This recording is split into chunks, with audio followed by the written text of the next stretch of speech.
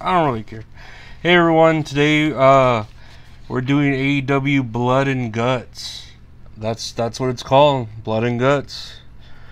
Uh, there was a lot of blood. I didn't see really see any guts. Uh, opening bout, I'm surprised it wasn't Orange Cassidy. Uh, we had Jungle Boy, but he had a vignette where he was burying his Jungle Boy character. So now he just goes by Wanana Jack Perry. That's that's his name now. Wanana Jack Perry. No, it's just Jack Perry. Anyway, um now he's up now he's coming out to some Beethoven sounding shit. I don't even know. Some sort of bullshit. Um Hook comes out with the FTW belt. He loses looking like an anime character. There's two rings. Um, so I don't know. Can they go into any ring? They're they're just going into that first ring, but there's two rings for that whole blood and guts thing. Um. Uh, oh, and it's Shark Week, so uh, a lot of people wearing shark heads or something. Uh, and then I think Shark Boy was backstage, but I didn't see him in the episode. Probably saving him for um, Rampage or something. Uh, Hook no sells a German suplex. Hook is getting Germans on Jack Perry. Jack grabs the ref with a distraction and low blows Hook. Gets an elbow on him, but gets a two count. Bumps into the ref. Hook gets some sort of suplex but I think Hook had actually dropped Jack on his head. It looked pretty bad. Uh, Jack Perry grabs the FTW belt, smacks Hook with it, and the ref wakes up and he wins the match. And now he's the new FTW champion. Uh, and he's heel. Go figure, right? That's that's what he's doing. You know, at the beginning they were doing that that oh oh oh oh oh oh oh that music and you could tell people wanted to sing along with it because I guess it's just a song they like singing along to, but they didn't want to sing along with it because they didn't like Jungle Boy anymore, and that's why they buried his character or whatever, figuratively and uh, literally. Anyway, next you have an MJF and Adam Cole vignette. They're uh, eating spicy Chinese food and then they think they're drinking water, but it's just 100% alcohol. And then they double clothesline the Chinese waiter. Uh, and I thought, I really thought Asian hate was done with, but I guess, you know, still going on, unfortunately. Try that in a small town. uh, Dr. Britt Baker, no, wait. No, there's some vignettes with Don Callis and Chris Jericho, but they're just stupid. Some fat dude keeps trying to interview them. Dr. Britt Baker uh, comes out with a lot of pyro. I guess she hasn't been doing any matches. She looks good though. She looks the same. Like she, she doesn't look good or bad. She just she looks the same, and, and it's good. Um, she's facing a jobber, Kayla Sparks gets the lockjaw and quick tap out victory. And I'm like, where's Rebel? Rebel was fucking hot. Like, I miss Rebel. Where's Jamie Hayter? Because, uh, you know, are they like not having her there because of Toni Storm or what? Because Jamie Hayter's fucking hot too. But Rebel's fucking hot for just, you know, standing there not doing shit. Like, not, not, she's just hot. Rebel's hot. Anyways. I don't know if she could beat Skye Blue in an ass match, maybe. Um, Renee Paquette interviews MJF and Adam Cole. Uh, they got each other matching trunks and jackets, and when they're leaving, uh, Roderick Strong with a neck brace comes out looking jealous, like he he's like, man, um, come back, Adam, I miss you, you're my friend, or something, you know. Um, MJF made MJF made a weird insult about Sammy Guevara's chick needing Plan B. I was, you hear the crowd go ooh, like that was that was kind of fucked up, but that was funny. Um, let's see, and then Daniel Garcia when he's coming to the ring, he does like a weird gyrating dance with his pelvis and uh, Sammy Guevara. They come out to the ring. For some reason, Chris Jericho comes out. He gets pri- uh, pyro. He gets a lot of pyro, and he tells him to cut his music because he doesn't want people singing along to Judas or something. Which I, I I'm I'm not a big fan of that song Judas from him. I like Lady Gaga's Judas more. Uh, I like uh, Enemy. You're my enemy. All that we had has gone away. There are times I say you're my enemy. Wow. I like that song more. Um, MJF comes out, the crowd loves him, and then uh, Adam Cole comes out, and now their music is remixed together and MJF's just like super ecstatic. They're like hugging about it. The crowd loves it. MJF loves it. Uh, I skipped a page here when I wrote my notes. Uh, yeah, the fans are like super really loving MJ and Adam Cole together. Uh, MJF and Daniel Garcia start out the match and they're just doing dueling crotch dance offs. Like seriously, if you watch it they're they're little uh, MJF's literally like dance off, dance off, and they haven't rang the bell.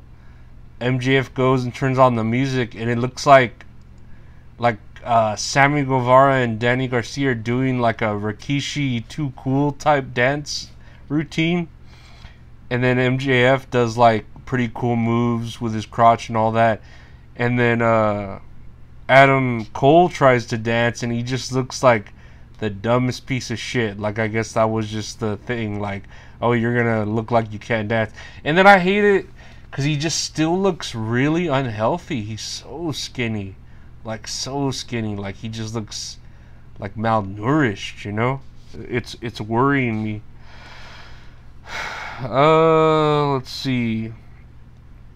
Uh, Danny and Sammy cheap shot uh, during the dance off. They start the match. MJ's teasing a dive to the outside, but he just runs the ropes over and over and over and over, and the crowd loves it. Uh, Adam Cole looks sick. I wrote that here because he does. Adam Cole convinces uh, him to dive out of the ring, MJF, and the crowd is like ridiculously pumped up. They call for the double clothesline, get it on Danny Garcia, and they win. Jericho goes to support Danny and Sammy, but they just walk right past him and they show like him disrespect or whatever.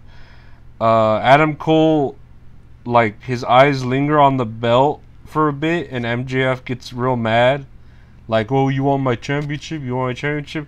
But uh, they get over it really quick because the crowd's like, "Hug it out, hug it out." So they hug it out, and then um, FTR comes out. Their music and they kind of just talk shit to each other, stare at each other, and they're gonna have a match for the tag team belts two weeks from uh, two weeks from today, or no, at Collision. Two two weeks at not this Collision, but the next Collision, right? Because that's the only place FTR works is on Collision. Uh, now next is the Blood and Guts match. Oh, there was no Oh yeah, Beer Baker was on, but she, that was a, a jobber match. Uh, really quick, uh, we see Kris Statlander and Orange Cassidy and the best friends, and they talk about Orange Cassidy versus, I think they said AR Fox. I wasn't really listening, because uh, Darby Allin and his like friend were there. That one that is like Nick Gage. I don't know what his name was. They just signed him and he just lost last week to fucking Swerve Strickland. But uh so what is it? Uh Orange Cassidy's gonna challenge that AR Fox to whatever his belt is. And I think Kris Statlander looks great. Like she's got a great look, a great physique, uh, and she wrestles great. Like she she's a good TBS champion. Jade Cargill was pretty good too, but Kris Statlander I think deserves it too. Uh, Toni Storm's pretty good. Like I said, Skye Blue just got a nice ass. But I would like Jamie Hayter somewhere in the mix too. Britt Baker, I like her, but she's like old news, you know. To me, anyways. Um, the Blood and Guts main event. Rule the rules are freaking weird. I'm not even gonna try and get these rules, but they start off with Claudio Castagnoli uh, versus Kenny Omega. A lot of pyro for Kenny Omega. The the crowd keeps chanting, "Use this ring, use this ring," for them to use the other ring. And I'm like, why are there two rings? I don't know. Whatever. That's just the gimmick of the match, right? And then they have a cage because it's Shark Week, a shark cage. The Bastard Pac comes out next. After three minutes, Hangman Adam Page is next. Uh, after another three minutes, Jon Moxley comes out and he has a fork and he's stabbing Hangman. He's stabbing Omega. He's like stabbing his ear and shit. And I'm like, he must have saw the Abdullah the Butcher Dark Side of the Ring on Tuesday, because, like, why the fuck did he just bring out a fork, you know? Uh, Moxley gets a bucket out from under the ring, and there's just straight up broken glass in it. like a bucket with broken glass. Um, Nick Jackson comes out. He's one of the Young Bucks. From uh, it's hard to tell when they're not together and the glass is on Nick Jackson's body. Kenny Omega's back. Wheeler Yuta comes out next. Uh, now Matt Jackson is out now, which is the other, um, you know, brother or whatever they are, the other young buck. Um, and for some reason, like I was like noticing that Moxley was the only one bleeding. Like he was stabbing Hangman and fucking Omega with the fork, but he's the only one bleeding in the ring. Like I don't think anyone else is bleeding, and if they are, it's probably just because they have Moxley's blood on their faces or something, you know. Um, do, do, do. Last guy for the BCC is uh, Takeshita. Takeshita. Takeshita. It looks like Takeshita, but it's Takeshita. Uh, anyway, Don Callis comes out to join commentary because I guess he's cool with Takeshita. And then Moxley brings out, uh, like from under the ring, a literal bed of nails. Like fucking, like the one Shang Tsung does his fatality on. Like a bed of fucking nails. Like, who the fuck built this thing? Uh, Kenny, Kenny Omega gets thrown into it and then body slammed on it and then uh, Kota Ibushi comes and takes comes out as the last dude for the Golden Elite. Takes out Wheeler Yuta. Uh, Ibushi kicks Moxley into the bed of nails, and then like uh, moonsaults onto him. And this match is ridiculous, dude. Like, uh, like there's a commercial, and then when I get back after the commercial, Wheeler Yuta and one of the Young Bucks is on the top of the cage and then they're reading a promo for Red American Red Cross to give more blood while this match has fucking Moxley bleeding all over everywhere. So it's I don't know, it's it's God, it's ridiculous. Um one of the young bucks has a bag of tacks on top of the cage and he rains them down into the ring and Pac and Claudio get thrown onto them and then now the crowd is shouting tables tables we want tables. Uh, and they bring out the tables and then now they're shouting we want fire we want fire. It's like what the fuck? These this audience just wants someone to die you know?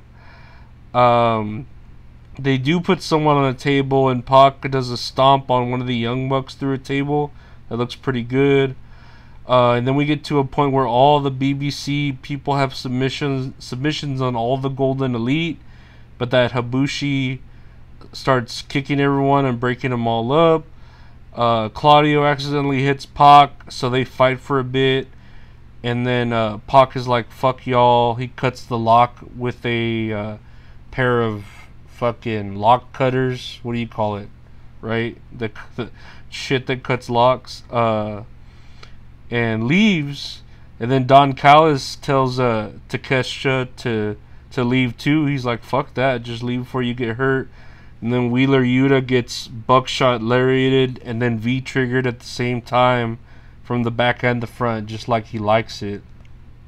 And um, uh, uh he gets hit. Or they have a sh- the Young Bucks have a shoe with tacks all over it, and they rub his face in it and then they get a chain and they choke the shit out of him with a chain and he gives up and the golden elite win and then they play carry on my wayward son there'll be peace when you are done lay your weary head to rest don't you cry no more